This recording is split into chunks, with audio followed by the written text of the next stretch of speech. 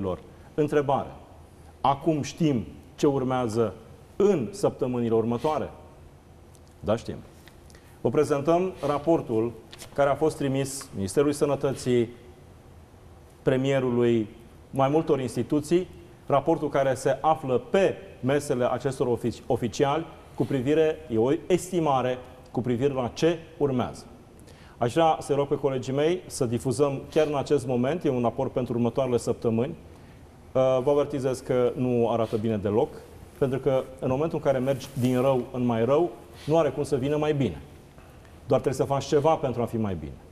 Știți, definiția nebuniei este să faci același lucru, să te aștepți la alte rezultate. Când faci același lucru cu Vlad Voiculescu, acest individ care nu are nicio legătură cu sistemul de sănătate, care, în principiu, nu are niciun fel de legătură cu managementul, l-ați văzut, care nu are niciun fel de legătură cu nimic, doar cu uh, Big Pharma. În momentul în care o pui pe Mihail, ce rezultate să aștepți? Același lucru, același rezultate. Acum haideți să vedem cu ceea ce au făcut și cu ceea ce au lăsat, care sunt lucrurile care vor veni peste noi, care sunt estimările. Domnilor și domnilor, vă prezint aceste documente în premieră. Să le difuzăm și în video.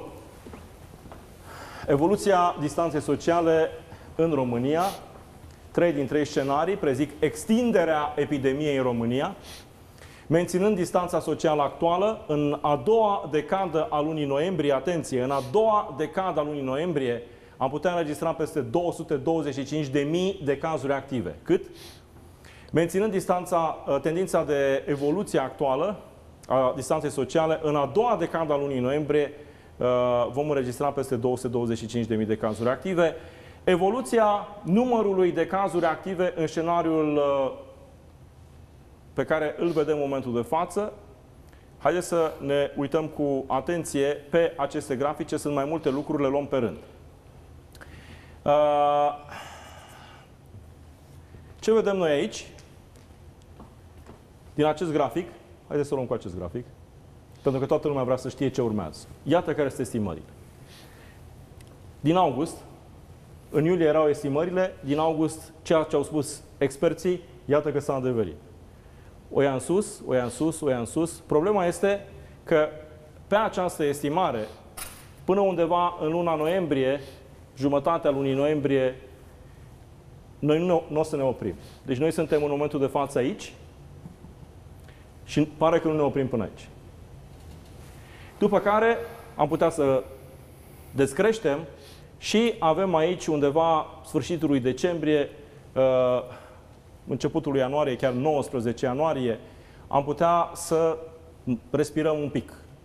Dar, cred că este foarte important de văzut în ce condiții se întâmplă asta.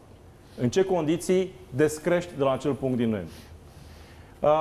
Avem de asemenea, doamnelor și domnilor, această evoluție pe mai multe scenarii.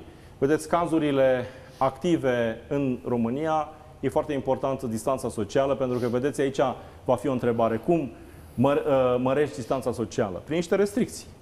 Pentru că, așa cum o să văd, sunt foarte curios ce spune și profesorul Rafila, Uh, vom intra puțin mai târziu în legătură și cu uh, secretarul de stat Raed Arafat, care a avut deja o întâlnire cu reprezentanta uh, OMS care a venit în România în această seară.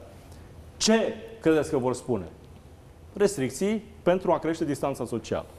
Și aici vedem această estimare pe numărul de cazuri, iar uh, profesorul Pascadi vine cu această estimare dacă Uh, lucrurile nu se schimbă, vom ajunge la un număr enorm uh, de cazuri.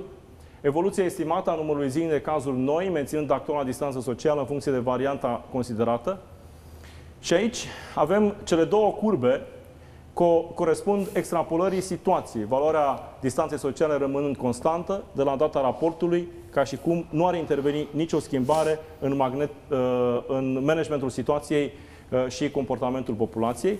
Și aici sunt două scenarii pe care le vedeți uh, în momentul de față pe